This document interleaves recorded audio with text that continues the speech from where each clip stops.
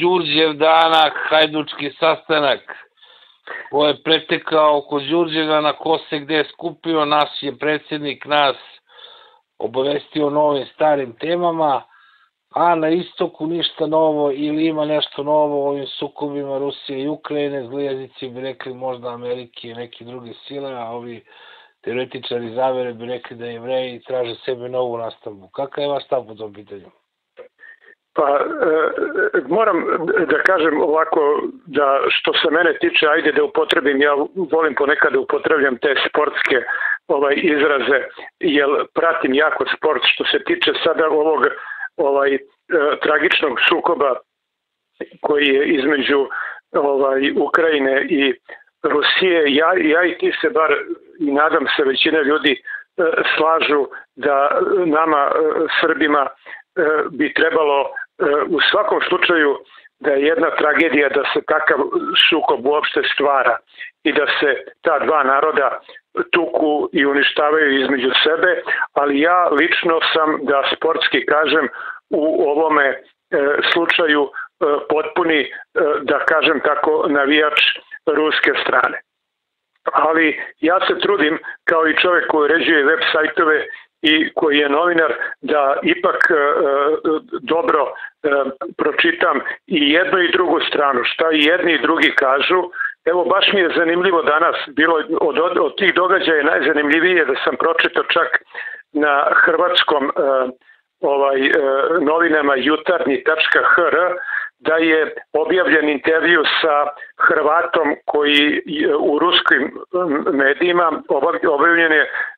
intervju sa Hrvatom koji je uhvaćen kao ratni zarobljenik tamo negde u, u, ovaj, u Ukrajini i da je on rekao, dobro da su u Rusi to ovaj, sugerisali ili je moro ili je to rekao iskreno, ali on reče da, e, da je ovaj napravio kao veliku grešku da je otišao tamo i da se bori zajedno sa nacistima koji su u stvari proglasio naciste ove njegove suborce i tako dalje. S druge strane, na primer, ja mislim da je, ovaj, nisam precizan da li je neka od ovih novina danas ili tako dalje, je danas, evo jutros, možda se nađe taj vez, vez da je Šormaz izjavio da su, pazi, zamisli sada izjava jednog visokog e, funkcionera vladajuće stranke da je e, da deo diplomatskog koja ruske ambasade radi direktno protiv Srbije. Pazi, to je jedna, ne znam, u nekim međunarodnim odnosima izuzetno, izuzetno ova oštra i kako bi rekao neprijateljska izjava da ti proglasiš ljude koji rade u ambasadi neke zemlje da rade protiv zemlje u kojoj jesu i to je Šormaz na, na kraju danas ovaj rekao. I onda, na primjer, ja sam pročitao tekst opet e, u ovim da li je ja opet neki nova ili tako dalje kao priča iz rata tri e, ruska vojnika su upala u neki stan, oca ubili odno u glavu, ocekli glavu sinu, ne znam, čerku silove ili majku prebili, razumeš, i to su bili mladi Rusi, znači ta priča postoji s ove strane. S druge strane, sada saznaje što se i priznaje koliko su Amerikanci ulagali para u ove e, razno razne e, laboratorije koje su tamo e, rasprostranjene po Ukrajini. Znači imaš tu meš, mešavinu jednih i drugih e, vesti ako ćemo tačno i onda je na tebi ovaj da imaš neki kriterijum da vidiš šta je tu tačno, šta je to nije. Ali ajde sada, molim te, možda valda neće da bude neprijatno da ti sad pročitam nešto, malo će da traje, ali koji ti sada govori o mediji. Pazi, govorim ti o tekstovima koji su objavljeni jedan oba četvrtog uh, ovaj uh, maja, znači pre neki dan. I sada su tekstovi iz naše iz naših novina domaćih Espresso je jedan, znači vrlo popularan web sajt za ovako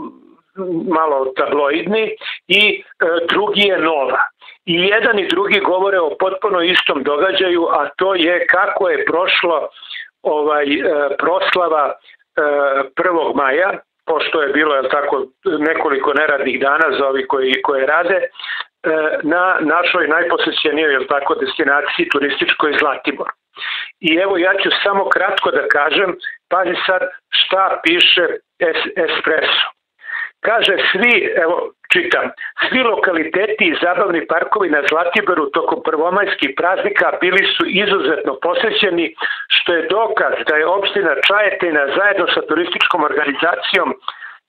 i preduzećem Gondola, hotelijerima i ugostiteljima spremno dočekalo preko 40.000 turista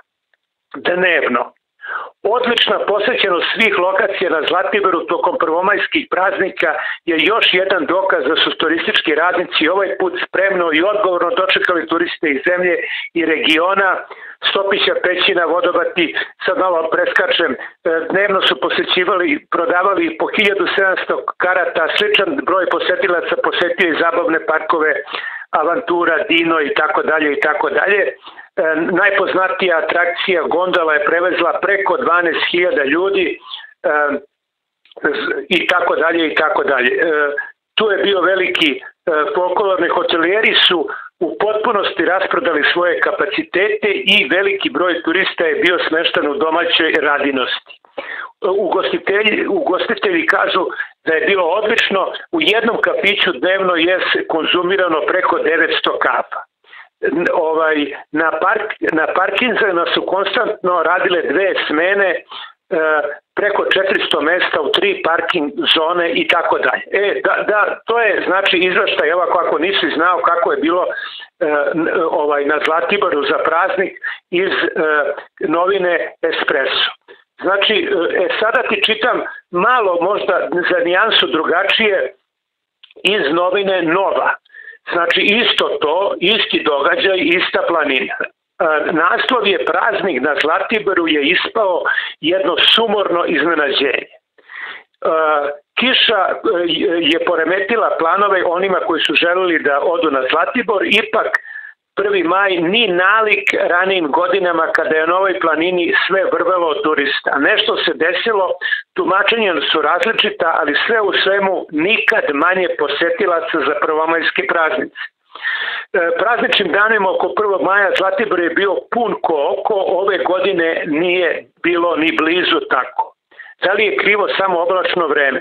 Očekivali smo gužve u petak pred Vaskrs, ali ništa se nije desilo. Onda smo verovali da će zbog verskog praznika, koji se uglavnom provodi kući više turista, biti za ove praznike. Istina da je ovog vikenda bilo malo više turista, ali je to daleko, daleko od svih prethodnih godina koje pamtimo. Nekada se nije moglo naći slobodno mesto u lokalu, sada mislim da u svakom restoranu i kafiću je bilo mesta da se sedni od gužvi govora. U pokušaju da nađemo do razloga, pitali smo neke ovaj jedan kaže ovaj, mislim da je ovo pokazatelj krize, nije jednostavno doći do Zlatibora 200-300 km,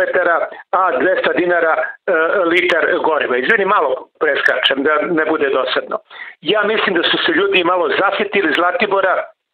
ovaj, i tako dalje. Cene smeštaja se nisu menjale, ali je e, poseta bila izuzetno bedna. Ni u radnjama nije bilo gužva, kupaca po nekoliko, a često su u njima samo trgovci. Loše vreme nije jedini razlog, e, u kapićima e, nije bilo gotovo ni malo gostiju, mesta dovoljno, mogli smo da biramo za koji sto da sedemo. Možda ipak najbolji pokazatelj da turista nije bilo u ranim godinama je broj vozila, nekada je pronalaženje slobodnog parking mesta bilo prava muka, dok je sada bilo mesta koliko god hođeš, što se nikada nije e, doživljavalo za e, prvomajske praznike za koje nekad dolazilo i 40 do 50 hiljada ljudi. E, sad, zašto ti ovo čitam, znaš? Ja i ti se sad pitamo šta se dešava, na primjer, tu u Ukrajini, ko koga ubija i šta se dešava. Ovde u našoj rođenoj zemlji, na 200 km od nas, na Zlatiboru. Pre, eto, par dana je e, bila proslava 1. maja, je tako, radničkog praznika, I mi, mi iz dve novine ovaj, imamo tako suprotne, totalno suprotna e, ovaj e, e, izvaštaj znači da neko od ovih dvoje debelo laše, pazi. Debelo laše. I sada, ako ti nekad, ja sam to prestao da radim da bi zaštitio svoje mentalno zdravlje, ja sam to preporučivo čak ovima mojima iz Australije, pošto imaš na YouTube-u snimljen i dnevnik, na primjer, od Pinka i dnevnik, uzmimo ovaj, ovo danas, ne onaj N1. I ti ako pogledaš jedno veče, jedno veče, pazi, dnevnik N1, pa posle toga odeš i pogledaš dnevnik Pinka, ti se ovako uštineš za obraz i pomisliš da li ovi ljudi govore o istoj zemlji ili ovaj govori o jednoj zemlji, a ovaj o nekoj drugoj. I ja sam ti sad ovo pročito direktno e, iz novina iz Zlatibora da ne bude ono priča ovako je onako je, evo ti ga primer, evo ti ga primer. Znači, po meni, e, ovaj, ako mene pitaš, moje mišljenje da je bila poseta katastrofalna, da je na to uticalo stvarno i loš, loše vreme, jer ko će da ide sad na Zlatibor da se provede po kiši. Drugo, tačno je što ovaj čovek kaže, pomnoži ti koliko košta da samo sada da benzin da odeš tamo vamo, drugo tamo su cene poprilično visoke, znači e, e, kriza je e, izgleda, nije svuda zlatno doba i vrlo malo broj ljudi se odlučio na Zlatibor. Ali s druge strane imaš ti novinu po, po meni gde je lokalni vlasnik Zlatibora, onaj kako se zove poslanik ili šta je Čajetina opština ovima šušnula neku lovu i rekli evo napišite tekst, nahvalite što više ovaj, jer nam to treba. I ovi su sad napravili da je poseta bila ve, veća neko ikada, da je to bilo puno, da to nije moglo da se prođe. E sad ti jedino ako imaš nekog svog, e, sad možemo jedino da, da izviniš, da, da potrebim mi da provalimo šta se tu radi, da imaš nekog svog tamo koji je bio, pa da ti ispriča. Ali sada opet da ne ispadne da je sad Zlatibor ne znam koliko važan ili taj prvomajski ovaj e, e,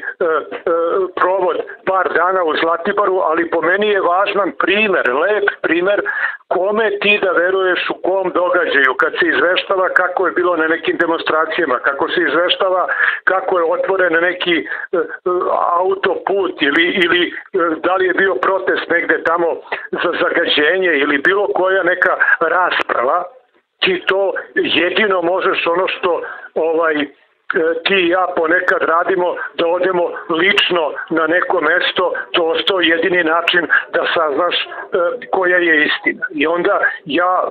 na neku odnosu na ja lično sada jedino znači možeš da ovaj šta možeš da uradiš možeš da uh, ovaj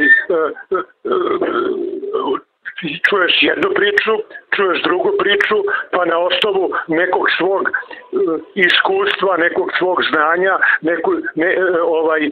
neč, nečega što znaš od ranije, da proceniš šta je tu tačno, a šta nije. Zato ja, na primer, na osnovu nekih svojih mojih saznanja koje imam i, i čak nekih ličnih kontakata koji sam imao i sa Rusima i sa Ukrajincima, sam zato na ovoj ruskoj strani i smatram ovaj e, da je ovde e, da tako razmišljam. Isto tako razmišljam i ovome e, na Zlatiboru. Meni je mnogo verovatnija ovaj, ova priča o kolapsu tog vikenda koji u stvari, znaš, mislim da je kolaps ovaj, izvini, imam pravo na mišljenja, volao bi da me, ajde sad tu demantuješ, ali mislim da je ovaj kolaps ovoga vikenda Zlatiborskog, što bi se reklo, vrh ledenog brega, i da je samo e, pokazatelj jedne duboke ekonomske krize u kojoj moj, e, mi živimo i da će to tek, tek, tek e, da se pokazuje na nekim drugim događajima. Ne znam da li si ti, na primjer, znao, ja sam se iznenadio pre neki dan kad sam pročito, opet ne znam da li ima veze s tim, da je, na primjer, bankrotirao, znači bankrotirao je čuveni festival Beer Fest koji je skupljio po 100.000 ljudi i bio ovaj ne znam šta, oni su bankrotirali. Bankrotirali. Znači, ovaj, po meni je uh, uh, došlo do te situacije, a bit će još i gore, o, ali tu mi sledimo taj svetski ovaj trend i, i što radi Švab i ova ekipa, po meni, ako mogu ja da budem hrabar da, da pre, prognoziram neku budućnost, znači mi ćemo u, u sledećih 3, 4, 5 godina u celom svetu, a kod nas posebno, da imamo i dalje oštro raslojavanje na bednu, bednu većinu i malu, malu, ekstremno e, bogatu ovaj, e, elitu, mislim elitu u parama što se ranije dešavalo u Južnoj Americi, jel tako? Sad se dešava svuda u svetu. Imaš ljudi, evo ovaj današnja vest, opet ne idemo dalje, onaj čovek kupio Chelsea za 4,5 milijarde dolara, 4,5 milijarde dao za jedan futbolski klub, engleski. To znači da ti imaš ljudi koji imaju jako velike pare. I mislim da se ovaj broj jako e, bogati koji u Srbiji po meni, pazi, ne, ne, ajde i tu ćeš da se ne složiš, ali ja mislim da čak ih ima oko 5%, ne više od 5%, e, onih 95 ostalih posto ti ne mogu sebi da dopuste, evo ajde izračunaj, ti si imaš ti matematiku, ajde uzmemo ti i supruga i dvoje sitne dece, dvoje srednje dece godina, izvini, da odlučite da odete na Zlatibor i da nađeš, na primer, e, neki najjeftiniji hotel, ajde, najjeftiniji hotel koji nađeš, kad odeš tamo, pa ipak ne mogu da odu deca, da ne odu ni jedan od onih parkova, da ih držiš u, u, u, u hotelu, opet moraš da odeš i s njima nešto da popiješ negde jedno drugo večer na neku kapu, sok, na neku večericu, pa ti računaj koliko te košta prevoz tamo vamo, e, sad ti izračunaj u odnosu na tvoj, ajde pođi od sebe, u odnosu na tvoj neki lični ovaj dohodak koji imaš, koji je to procenat i da li ti se isplati za taj jedan vikend da skrljaš ovaj polovinu svoje mesečne plate. Ja mislim da to sebi ne može da dozvoli ovaj 90% ljudi. Tako da je meni, kažem ti, od svih ovih do, do, događaja, eto i predsednik nam je bio, obraćao se i tako dalje, ali eto ja izvukoh ovaj Zlatibor kao, e, kako bi ti rekao, jedan pokazatelj i kako su nam prevarant, kako nas lažu, neko nas laže, pazi i to debelo, pročitao sam ti sa interneta, nisam ono izmišljao. I s druge strane po meni ovo je pokazatelj da e, ovde mi, e, e, da postoje zlatna vremena sigurno. I ja verujem na primjer da da na primjer brat e, e, premijerke Brnabić da on živi u zlatnim vremenima. I da brat Siniše Malog i ta familija da, da su ovo za njih zlatna, dijamantska vremena. Znači ovo jesu zlatna vremena, ali su zlatna vremena samo za jedan mali, mali deo populacije koji je našao način kako da se debelo ogrebe od državu. Eto. A čekaj, ti misliš da za Batu Andreja nije ovo zlatno vreme? Pa dobro, njemu je malo teško, razumeš, on radi u banci, ustaje rano ujutro, ceo dan, znaš, ja mislim da je on u ovoj štampariji novca, nije to lako kao službenik, ovaj, verujem da, da on ovaj, ali možda on možda pozajmi neku lovu pa da može da ode do Zlatibora, ne mogu, to da ti garantujem sad. Pa vidi, u toj tvojoj priči ima nekoliko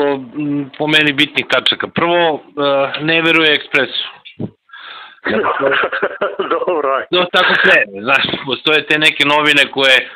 su znači, direktno da trošenje, trošenje toalet papira i šareni toalet papir koji posle ostavlja tragove i ovaj, pogotovo onima koji imaju probleme pa ne mogu da ga koriste za prave namene. To je jedno. Drugo, uh, Zlatibor je zaista prelepo mesto. Međutim, ovaj, Zlatibor je toliko izgrađen da zadnji put kad sam bio, bilo je to kad smo prošli pre par meseci, moram da priznam kad se prođe kroz centar Zlatibora, to smrdi kao i Beograd. Tako da ne razumem koncept da neko ode kao e idem super planina i onda odeš u neko mesto koje je naseljeno kao Dorčol i kao sad mi je to nešto super, znaš, ono buka, ludilo, šizenje, znaš.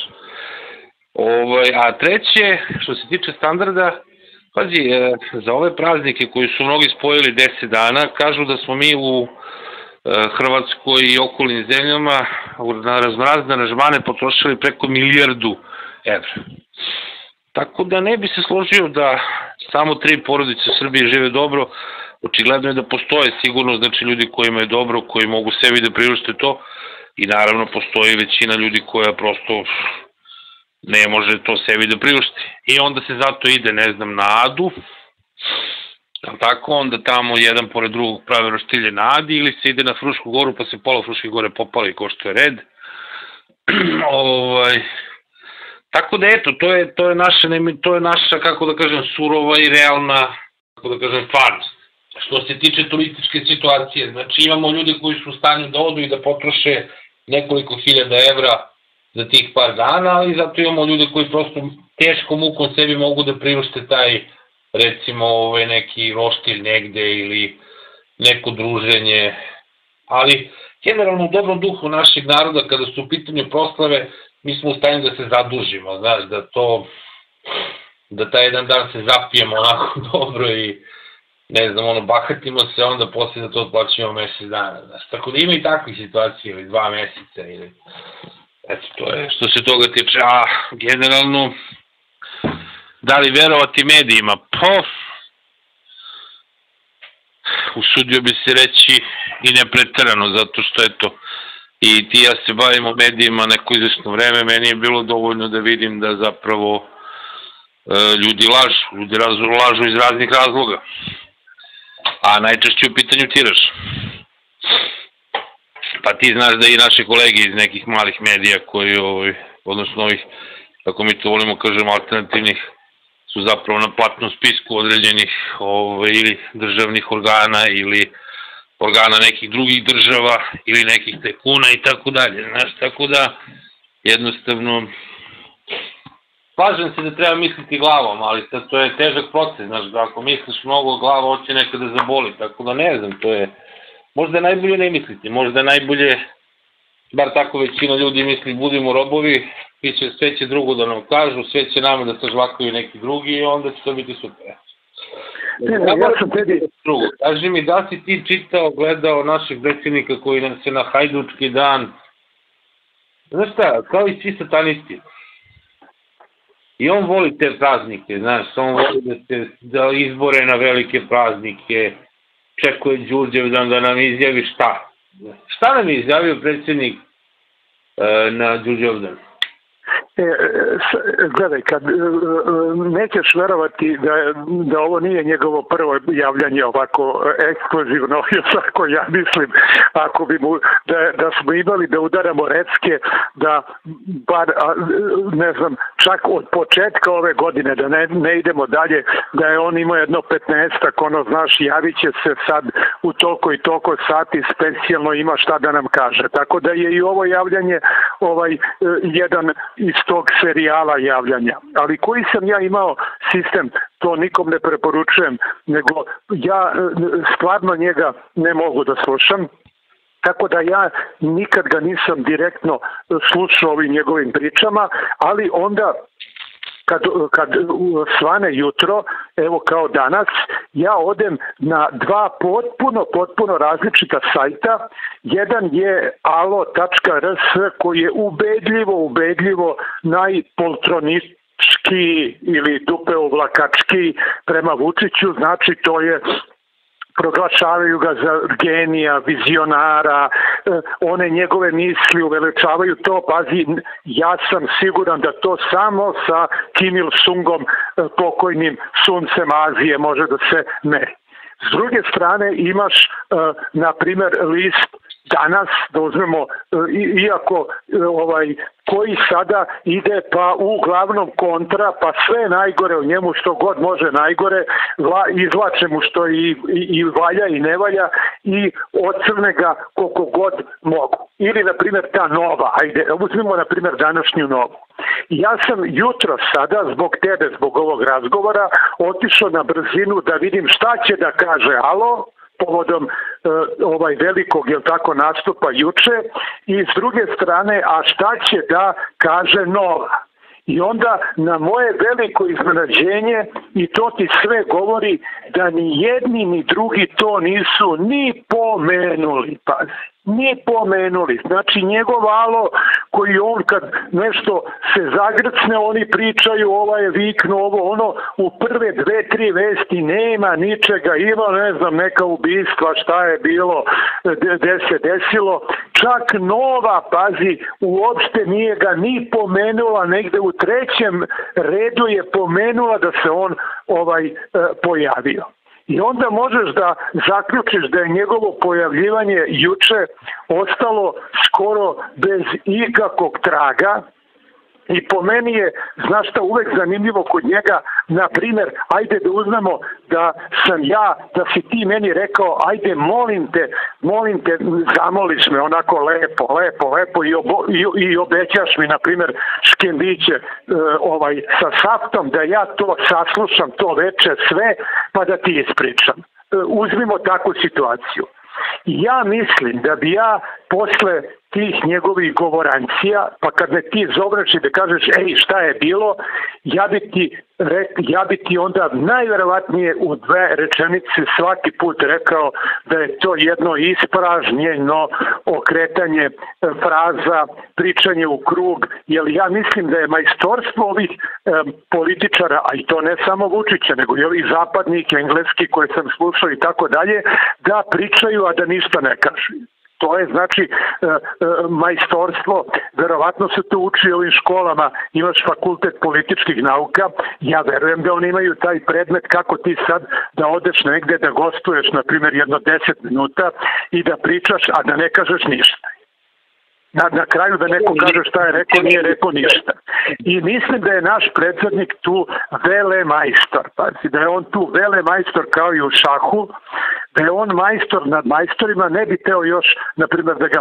ovaj, poredim, na primjer, sa patrijarhom koji je sličan, koji je tako, razumeš, oduži neki govor i onda ti hoćeš da vidiš šta je teo da kaže, I onda shvatiš da ovaj e, e, da iz toga svega nema ničega. Jedino što pazi ako ako meni je ovaj jedan od uh, ovaj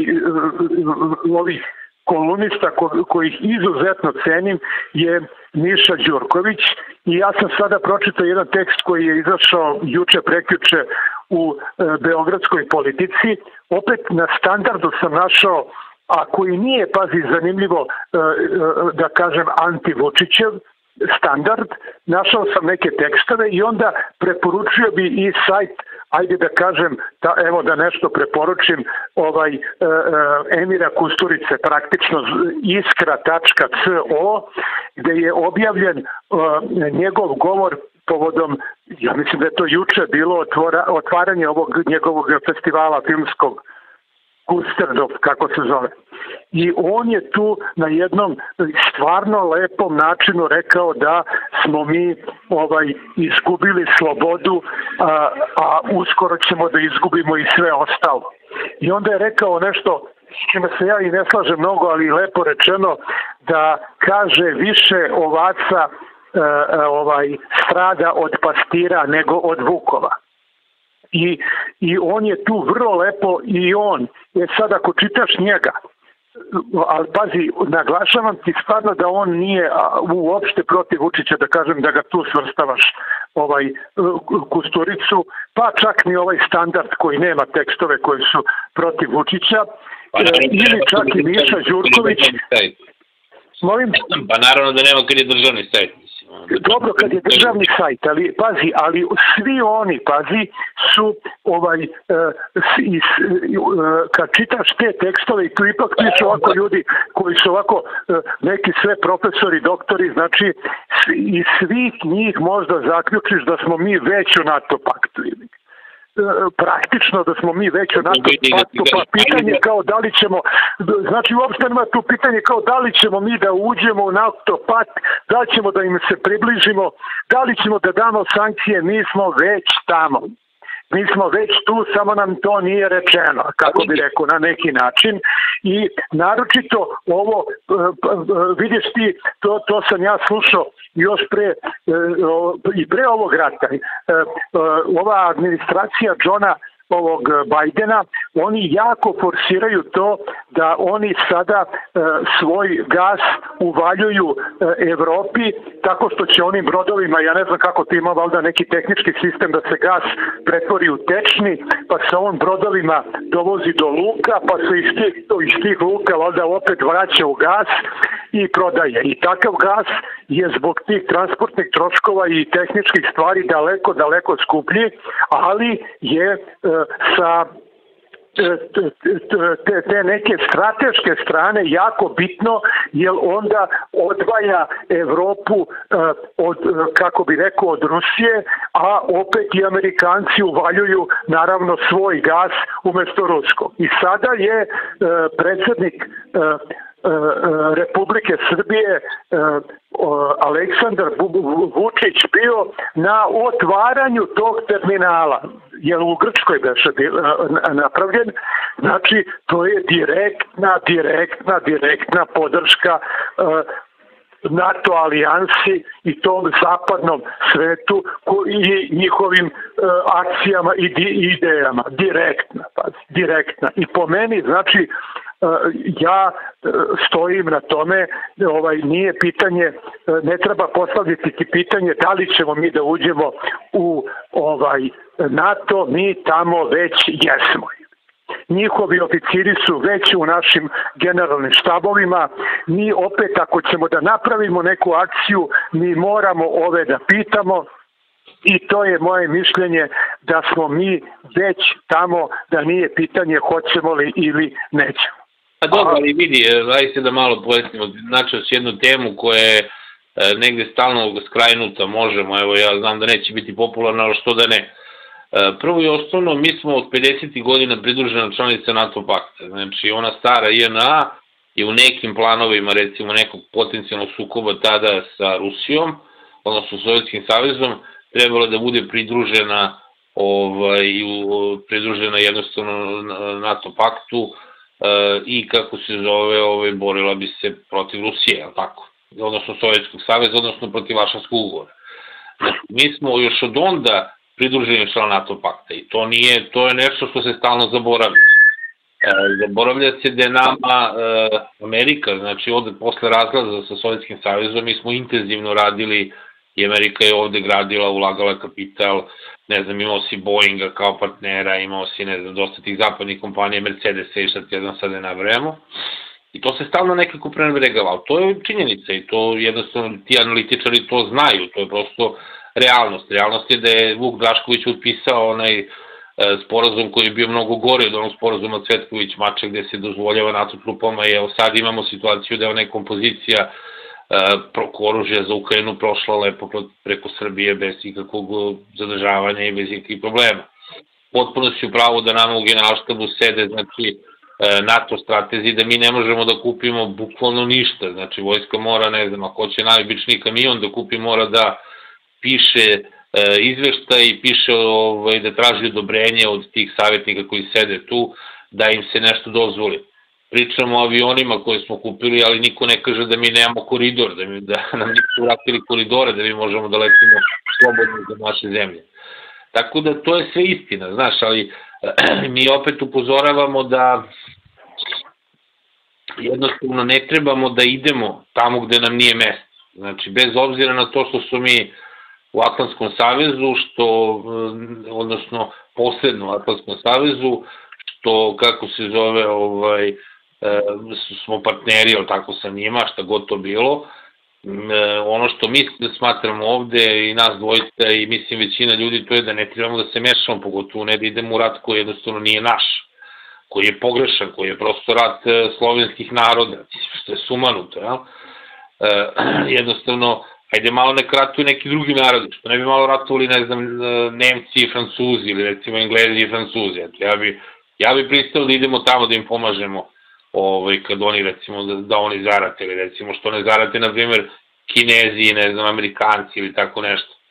Znači jednostavno taj neki, ti neki narodi koji prosto ovaj, bi mogli da ratuju, ako ih ima previše na planeti, možda tiraju sve ostalo. To je jedno. E, sad, sa druge strane, ne smemo nikada zaboravimo da je taj NATO savez, bez obzira na sve, 99. godine življavao se ovde nad nama. Mi dan danas imamo, imamo ovaj, epidemije tumora, imamo zagađenu zemlju, imamo mnoge probleme koji su nam ostali od 99. godine. Znači, i pitanje moralnosti e, je ući sada trenutno i stati ovaj, u borbi protiv Rusije, znači u ovom trenutku. E, Rusija je, kao što znamo, nikad nije bila naš, nama prijateljska sila, ali opet da kažem, nijedna sila nama nije bila prijateljska, ali Rusija definitivno, ruska spoljna politika nikad, evo to se videli sad na ovom primeru, znači oni su branili u Savjetu bezbednosti Srbiju, ali kad je njima trebalo, znači da bi povukli, da bi dobili priznanje Donetske republike, oni su rekli lepo, Putin izašao i rekao ako može Kosovo da bude nezavisno, onda može koristili ste to, onda ćemo po tom istom presedanu priznati i ovaj, Donjeci Lugansk. Znači, samim ti nam je opet otežao položaj, a ovi naši rusofili zaboravaju da su nama i 2003. kad su otišli sa Kosova otežali naš pregovarački položaj. Znači, ono što bi ja najviše volio to da se mi ne stavljamo na stanu ni Rusije, e, niti Amerike, nego da budemo malo nezavisni, da malo budemo pametni, da shvatimo da Srbija, osim Srba i Boga, nema prijatelja. Znači, jedini prijatelj koga možemo da suzdamo, to je Bog, istina, mi ga to odričemo stalno, ali ja mislim se Bog još uvijek nije odrekao Srbije.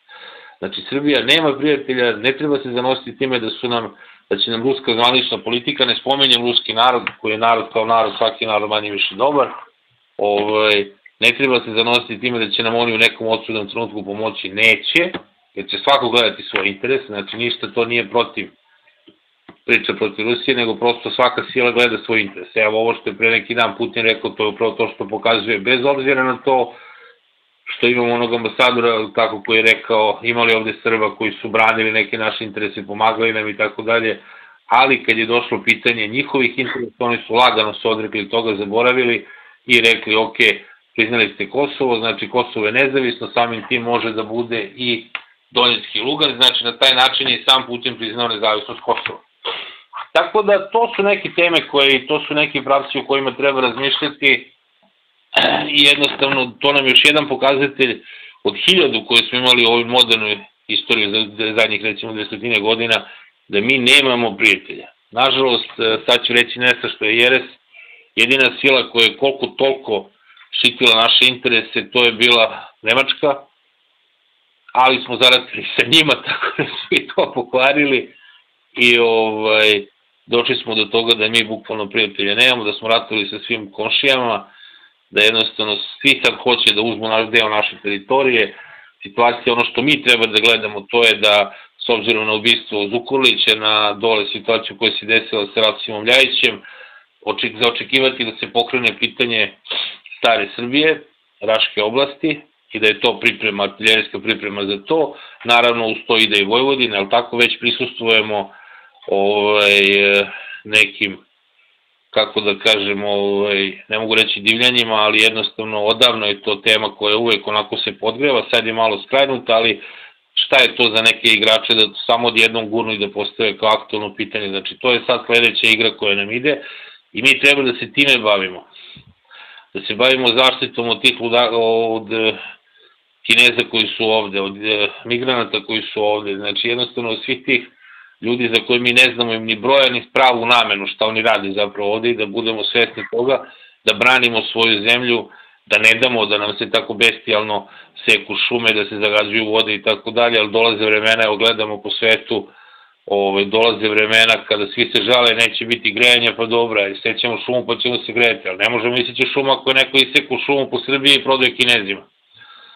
Tako da... E, izvini, ne, ne, e, izvini da ne zaboravim, Ja ne zaboravim, pošto mi mozak e, u ovim godinama ne radi, ali sad kad si pomenuo, koga ti reče,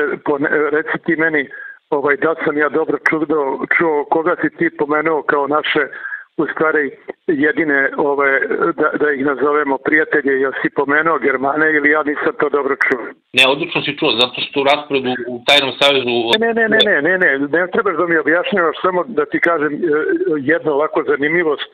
koja potvrđuje ovo tvoje. E, ja sam, e, uvek je jedno bilo pitanje, e, ajde sad da idemo u malo mekšu temu, da ne idemo stalno s ovim dnevno političkim temama, jer ja vidim da ljude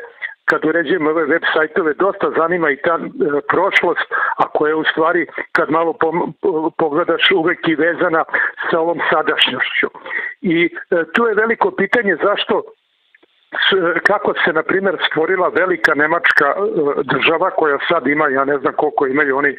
100 miliona skoro ljudi, ovaj, e, e, a da su oni pre toga u stvari bili razbijeni u nekih desetak državica do duše ne, blago povezanih nekako germanskih, ali njima su čak i jezici bili toliko različiti da nisu mogli ni da se razumevaju. Ali su preko ovaj, istorijski uzu ipak u jednom momentu uspeli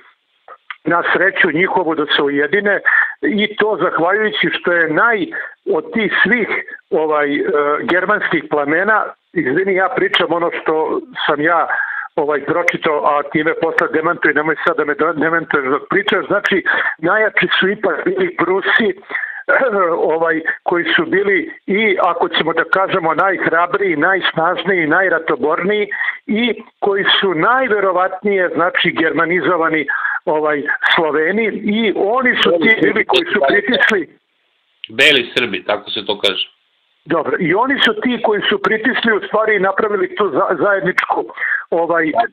Germaniju. E sad, s druge strane je, sad da ne ispadnem ja stvarno, nemam nikakvih, nikakvih, nikakvih jugonostalgičkih nekih elemenata, ali s druge strane se timo situaciju ovamo da je na Balkanu, da imaš Slovence, Hrvate, e, Srbe i, i ovaj ili ove koje su se posle nazvali kako je ko e, koji su ovaj propustili tu priliku da kao Nemci naprave neku, neku snažnu državu koja bi sad, na primer, imala da ne bi onih pokolja i onih e, ubistava ne znam šta, možda i 30 miliona slavnika. Ali teo sam da ti kažem da sam juče čuo jedan izuzetno zanimljiv podatak koji, ajde ponekad i tebe ja da ovaj podržim. E, bio je neki podatak, e, e, čitao sam neku knjigu, ovde mi neko dao o o religijama, pa o, pa, ovom, pa o staroslovenskim i staroevropskim religijama. Znači, o religijama koje su u Evropi prethodile e, e, judeo-hrišćanstvu pre nego što je znači to stiglo u prvom, drugom, trećem, četvrtom, petom veku kad je stiglo. I šta je sad e, tu zanimljivo da od svih naroda koji su tad živeli u Evropi e, na, Evrop, ovaj, na evropskom tlu, je tako, samo e, kod dva naroda si imao poštovanje hrasta kao svetog drveta kod Srba i kod Prusa, pazi. Vrlo zanimljivo. Znači, samo Srbi i e, Prusi su hrast poštovali kao sveto drvo, zato imamo i badnjak i sečenje badnjaka i tako dalje. Iako istini za volju je drvo bilo poštovano i kod ovih e, u Normandiji tamo ili ovih na severu gore e, ovaj skandinavaca, samo što nije bio hrast. Imali su neke breze ili ne znam šta. Neki su čak imali, imali e, neke države države i neko imaginarno duhovno drvo. Znači, jer su valjda ljudi shvatili da je drvo starije od čoveka, razumeš, da izlazi iz zemlje, da od njega izživimo i tako dalje, ali opet je zanimljivo da su samo Prusi i Srbi ovaj poštovali uh, uh, konkretno hrast, baš hrast kao sveto drvo. I onda sad kad ti meni kažeš da smo mi među tim, ovaj, ja se sećam dobro, ne daj Bože, stvarno ovaj, i, i o tome sam razmišljao skoro i čitao neki tekst uh, da se, da se ne shvati ovaj pogrešno, ali ja stvarno smatram sad bila je neka priča i ti si pričao o tome koliko je suludo, koliko je nenormalno da u Srbiji neko e, podržava e, kukasti krst nemački, mislim nemački kukasti krst i, i, i Hitlera i tu ideologiju e, kad, su, kad, kad, su nam, kad su nas smatrali za roblje neko slovensko i kad su nam pobili i, i tolike ljude i, i zapaljivali ih u crkvama i, i, i onu decu pobiše u Kragujevcu. Ali je zanimljivo da je pre napada e, e, Nemačke na nacističke Nemačke na kraljevinu Jugoslaviju, da je Hitler u Reichstagu održao govor i da je u tom govoru pomenuo da su vekovima E, srpski i nemački narod živeli u nekoj, kako je on to rekao, e, nekoj dobroj saradnji gde smo mi kao poljoprivredna zemlja njima tamo e, izvozili svinje i, i, i, i, i, i, i kukuruz ili ne znam krompir ili šta smo imali, a dok su oni e, i tada kao naprednija zemlja nama slali klavire ili singer mašine za šivenje ili e, mašine neke e, za industriju i tako dalje. I tad je Hitler rekao da smo mi imali tu saradnju sasvim korektnu ovaj, i da je on ceni, pazi, se sjećaš ti to, to, da on ceni hrabrost uh, srpskih vojnika koje je zapamtio i on, ali razumeš, sve to krenulo u drugom pravcu. Ne, ne, ne, da ti kažem, opet je ne bi teo da to bude sad dužno smo rekli pogrešno svaćeno. E, naravno, nacistička Nemačka nije neko sa kim treba da se družiš i koga treba da idealizuješ. Naravno da posle 903. ubistva poslednjeg srpskog kralja i srpske dinastije dolaze ovi crni ološi i onda jednostavno politika kreće nekom čudnom putanjom. E, jednostavno zaratili smo sa Bugarima, e, sa kojima smo trebali pre toga da napravimo savez, jedan veliki balkanski savez e, i ujedinjenje tih slovenskih naroda. Nama je Austrija nudila da se mi proširimo do one granice tamo, znači Sana, ovaj, znači jedan deo, da nam pripadne jedan deo Bosne pre nego što se desio Anšus, znači ovi, ovi to odbijaju naša vlada, je tako, Nikola Pašić, onaj ološ, naj, grobar u stvari srpskog naroda i ta, ta politika radikalska koja je najgora, znači koja nas je zadesila, e, to odbija iz e,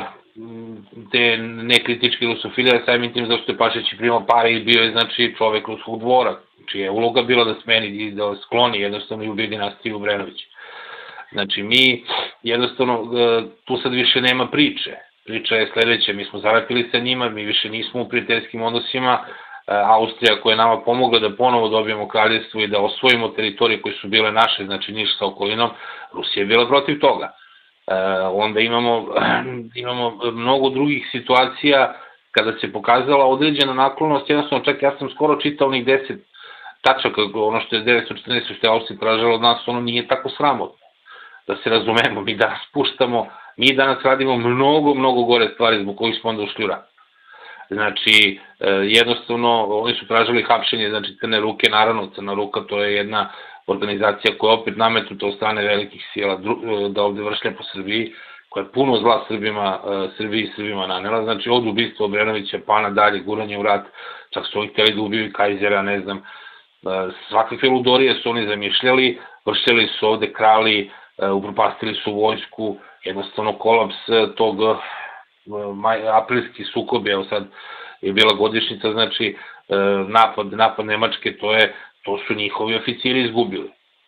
Prvi rat su dobili Milanovi oficiri. Znači, još su bili živi, još su bili u snazi kasnije, jednostavno ovaj,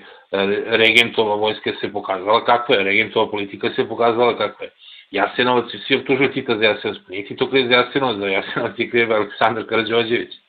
To je njegova politika. Tita možemo da optužimo za ono što se kasnije događalo, ali znači prosto e, stradanje u prvom ratu milioni 400 hiljada, u drugom ratu milioni 700 hiljada Srba je direktno, direktno posledica ovaj, politike e, Nikole Pašića i regenta Aleksandra. I naravno Cene ruke koje je komovala svemu tome. Znači, mi sada da pričamo o tome da je Nemačka prijateljska sila, nije, nije, u ovom trenutku nije ali ja govorim kroz istoriju, znači bilo. Ne, ne, ne, nismo ni, re, pazi, nismo ni rekli da smo, uh, ali pazi da je, uh, znaš šta, tragedija je istorijska koja nikad ne može da se ovaj, uh, ovaj popravi, jer to je i Brežinski, a mislim, objasnio i to su uh, Amerikanci shvatili uh, ovaj, pošto naravno među njima ima izuzetno pametnih ljudi, tu nema dilema i Kissinger i ostali, oni su odavno shvatili da je njima E, najvažnija stvar koju treba da urade, a to je da ne dozvole e, spajanje ruskog i nemačkog naroda u neku zajednicu, razumeš, e, u, u, u neki savez. A koji je bio još u vreme Hitlera i Stalina viđen da, da ovaj, a čak i, i pre toga. I tu se vidi i, i genetski sad i po DNK i po svemu da su, znači da smo mi Sloveni i ti Germani ipak e, narodi koji su relativno bliski jedni drugima, ali to je već sad prošlost koja nikada, nikada više neće da se vrati, ali, ali su nas poslađali sa strane, e, veštački. Najde da, da to malo još e, pojasnimo. Biće emisije istorijskih po tom pitanju, da damo neki uvod. Vidi, tu oktobarsku revoluciju, znači decembarsku pa oktobarsku pa decembarsku i decembarsku pa oktobarsku, znači izvodi Lenin, Lenin koga šalje, znači nemački car sa, ovaj, sa diplomatskim pasošima, onom okupljenom vozu i tako dalje sredstvima, znači to je direktno Nemačka vrši revoluciju Rusiji, jako Rusija u tom trenutku bila spremna se preda, ali zato Nikolaj ulazi u rat, ne zbog te romantične priče da bi spasao Srbe, to je suman, to je glupa priča, to, je, to nema veze. On ulazi zato što je imao dogovor sa svojim bratom, e, engleskim ovaj, imperatorom, u tom carem isto. Znači, to, je, to su tri cara, to je, to je bio rat prosto tri rođaka. Znači, I sad se događa? Oni su jednostavno, Nemci su izvršili revoluciju, revoluciju u Sovjetskom savjezu. I ono što smo rekli u prošloj emisiji, radikalni, komu, radikalni komunizam vodi nacizam, pa zato su Hitler i Stalin mogli da se dogovaraju, prosto oni su bili na ideološkoj, ideološki jako slični, ideološke osnove jako slični. U prv, proslavu 1. maja prvi put u Nemačkoj uvodi Hitler. Nije uveo niko drugi, nego Hitler. Znači oni su mogli da se dogovaraju. U tom trenutku Englezima to ne odgovara, jel da se sastavile, jel tako, te dve sile, Sovjetska Rusija i ovaj, Hitlerova Nemačka, mislim, Engleska tu nema šta da traži. I zato je došlo do, do, do, do jednostavno razdvajanja i do huškanja e, onoga što je njima odgovaralo, znači jer jedno, samo tako Englezi mogu da opstanu ovaj, u Evropi ako ne dođe do spajanja Rusa, e, Rusa i Germana. Ali ono što je naš problem, to je što nekome ne odgovara, u ovom slučaju Rusiji ne odgovara velika, velika Srbija na Balkanu i jaka moćna e, sila kao što je recimo e, zajednica Bugarske, Srbije i tih slovenskih zemalja ovaj, preko Drine, to bi bila jedna velika, jedna velika zemlja. Ne mogu reći imperija, ali to bi bilo zaista kao što je bila stara Jugoslavija, jedna velika zemlja sa više desetina miliona stanovnika, sa velikom teritorijom, sa izlazom na dva mora, Mislim, to bi bila geostrateški jedna velika sila koja bi sa druge strane branila prodor Turaka, što opet ne odgovara Englezima. I tu su se ruski i engleski interesi poklopili da jednostavno ovaj, ne dođe do stvaranja takve države i zato dolazi do ubistva dinastije Obrenovića, dolazi do za, ovaj, zavađanja Srbije, Srbije i Bugarske, dolazi do dva rata između Srba i Bugara jednostavno mi sada kažemo Bugari na svoju udarijska leđa.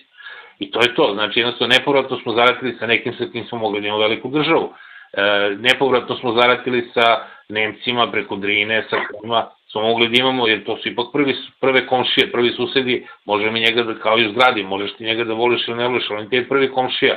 I jednostavno ratovati sa njim je prosto glupo, kao što je glupo ratovati sa komšijom pored koga ti stan pored stana, tako on će ti prvi nekako pomoći ne znam, ako se nešto desi i tako dalje, ti pričala stanje da dojevi, mislim, dam samo, dajem samo jedan banalan primer. E, sad kažem, sve su te istorijske prilike su propuštene, mi smo sad tu gde jesmo, Srbija prijatelja nema, više nemamo ni jednu veliku silu koja bi nam pomogla i zato je pametno da u ovoj situaciji jednostavno se ne mešamo i budemo, budemo kako se zove, e, jednostavno neutralni, a ni pošto ne ulaziti u, u, u sa anglosaksoncima da se ratuje protiv pravoslavne braće, šta god ta velika sila u određenim istorijskim trucima činila prema nama, mislim sa braćom ne treba ratovati. To je pojenta cijele priče. Pogotovo ne sa pravoslavnom braćom, tek je to, tek je to sumanuta priča. Tako da jednostavno mislim da je nama rešenje sad u ovom trenutku da budemo malkice neutralni, da gledamo svoje posla, ovaj, da ne slušamo, da se vratimo na početak, razno razne medije i laži, plašim se da će ovi da nas uvedu sve ovo što mi ne želimo, ali bože moj, na nama je da se pripremimo i da budemo spremni za to što nas čeka, pa nikad se ne zna. Ajde, Nenade, e, ispričali smo se lepo. Ja mislim, e, ovaj, ako mogu da prognoziram e, za sledeći put, kad budemo pričali, ako to bude za nedelju dana, mislim da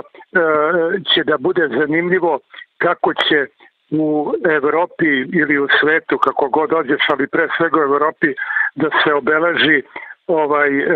ovogodišnji e, dan pobede 9. maj kako to zovu Rusi, je tako ili je to i dan Evrope? Ja mislim da je kod njih to isto dan Evrope 9. maj. Naravno i, i onako je taj dan problematičan, nema veze, ali je vrlo sada e, zanimljivo pitanje kako će sada oni koji su navodno zajednički jel tako pobedili nacističku Nemačku e, ovaj da taj datum proslave i kako će ko e, na koji način to